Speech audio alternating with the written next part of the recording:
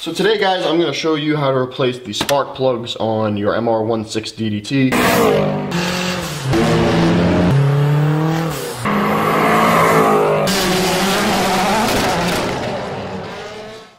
Um, this is the process for the version 1 engine. The version 2 engine is a little bit different. Uh, so this car is completely stock, so we have our engine cover. So we're going to go ahead and remove that. There's four mounting tabs. We just lift up on those to remove it. We'll just set it aside. Now, your spark plugs are underneath all of this plumbing here. And it might look like a lot of work to get to them. It's really not. You only need to take a couple of things off to actually get to them. So, one of those things is this pipe here and this hose here. So to remove these, we're gonna need um, a 12 millimeter socket with some sort of extension and swivel to get back here. We're going to need a 10 millimeter wrench to get this bracket off over here. And then we're gonna need some pliers to get this off right here. You're also going to want to take this solenoid off. This is the boost control solenoid. Um, it's two 10 millimeter bolts. You can use a ratchet once you get this hose out of the way to get those off. So to get this diverter valve line off, we just squeeze the clip, give the hose a little, and walk it off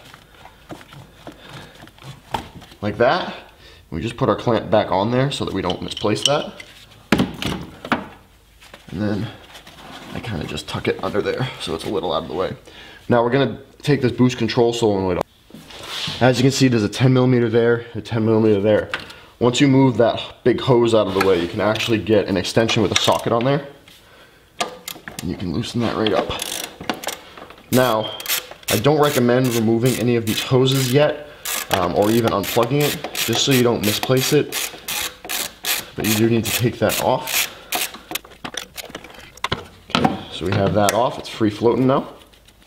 Next thing we want to do is take off this bracket here. You can either take off the 10 millimeter down here or this 10 millimeter up here, uh, depending on what you have for tools. So I'm just gonna take this bracket off. I mean this mount off right here, just because it's easy enough for me with the tools that I have. All right, so we're at the back of the top intercooler pipe right here. There's a nut right there that we need to take off, and then on the other side there's also another one. So we're gonna go ahead and remove those. They are 12 millimeters.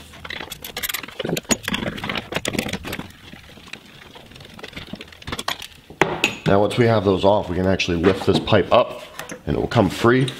Um, you just release this, take that off, and we can move this. Now, this uh, hose right here, just sort of pop that off. There's a clamp on it. You can do the clamp with your fingers, and the hose should just come right like that. We're gonna take this pipe and we're just gonna bend it off the side and then just shove it underneath something to hold it over here. Um, now we have access to three of the plugs. Then if we move this hose here out of the way, and we take our boost control solenoid and we kind of move that out of the way, we now have access to all four of our coil packs to get to our spark plugs. So these are the coil packs, there's one here, one here, one here, and one here. Uh, so what we're gonna do is we're going to remove the 10 millimeter bolts that hold them in. Just do this all in one step so you don't have to change tools out over and over and again. They should not be very, very tight. Um, they are housed in plastic.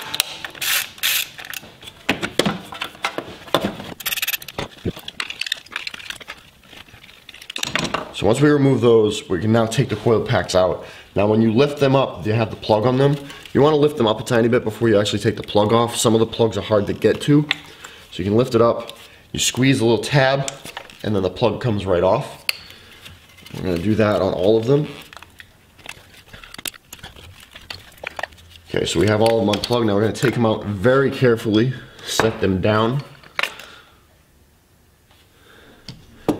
Keep them in the order in which you remove them so they all go back to where they came from.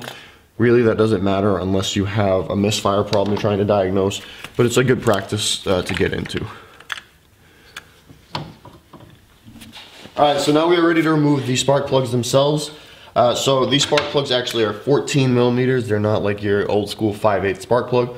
So you just want to get a 14 millimeter deep socket. They do sell 14 millimeter spark plug sockets now. But if you don't have one, this works fine. You're gonna want a good amount of extensions. And we're just gonna pop that down there. And we're gonna loosen them all. and then we'll go and take them out after we loosen them. Now once you loosen them, you can hand loosen them all the way so they're no longer threaded in. And to get them out, you're gonna want a magnet um, or some really long needle nose pliers. A magnet works best, obviously.